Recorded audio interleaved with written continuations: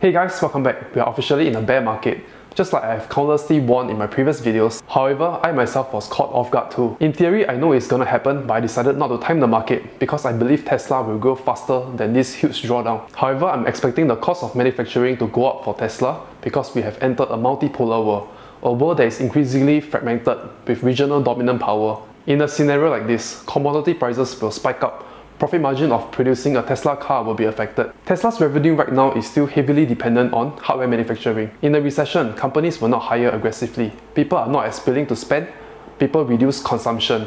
Since an individual's consumption is another person's bread and butter, the next person will have lesser to spend and consume, and this will have a downward spiral. Interest rates increase, amount of credit in the world reduces. Debt is the main form of money, hence money tightens, money becomes more valuable. Funds will have to be very selective of the right company with the strong balance sheet, strong future growth, and strong cash flow. And to me, that is Tesla.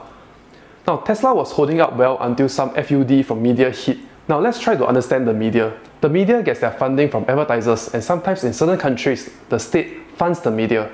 And let's see it through the lens of Tesla.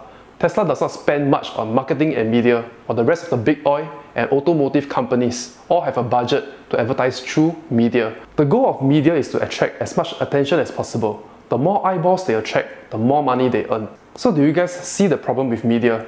Their goal is not to report accurate data or news. Sometimes they have their state propaganda or advertisers' agenda. They report shit that is not true or otherwise exaggerated.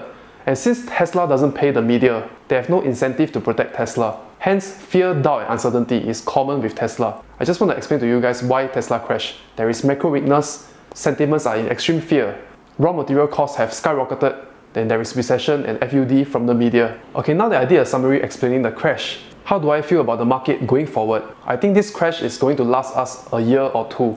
This time it is different. The whole type has changed. When COVID came, we lowered interest rates to near zero and we have QE. We print a whole ton of money to increase money velocity and this results in a V-shaped recovery. They printed so much money and now they have to reduce their balance sheet and we are now on QT. Interest rates are going to rise to fight inflation. The tide has changed. It is time to adapt. It is going to be a slow and dreadful recovery. So what am I going to do in this bear market? If we know what is the fundamental reason behind all this and have an idea how it will play out, we can turn this crisis into opportunity. So in my previous video, I talked about maybe buying a long dated call option, aka a LEAP. But after sitting down and thinking for a while, I realized now it's not the time yet. This market drawdown will most likely be long and painful because Fed is tightening money. So for now, what we can do is to understand that cash is king for the next 1 to 2 years. And then we revolve our strategy around this fundamental basic truth. If cash is king, cash is more important. So you have to slow down dollar cost average because it's not going to be a V-shaped recovery. And since it is not going to be a V-shaped recovery, I will continue hedging my Tesla position and that means selling call option on Tesla to fund premiums. I will do it especially when there is a bear market rally.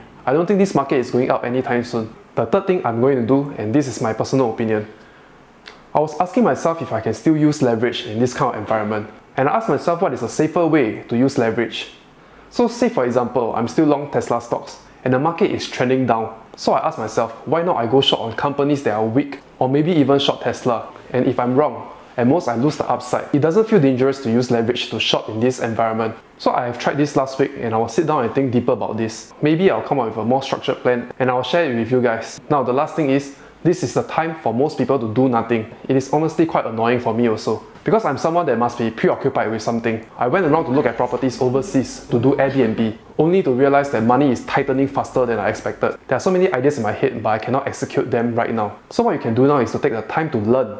Equip yourself with knowledge and high income skill. So long as we contribute more than we consume, we will pull through this recession together. If you are cash rich in 2022 in your 20s, I would say this is the time for you to make life-changing money. I made mine two years ago in 2020 COVID, and this time round my cash is stuck it is your turn to become rich. Slowly dollar cost average your way into a strong company, for example, Tesla. If you are a long-term Tesla investor, turn this crisis into an opportunity. Think of it as being able to load up more shares at a discount, having more time to buy more Tesla shares. Okay guys, if you enjoy my sharing, do give this video a thumbs up, subscribe to my channel if you haven't.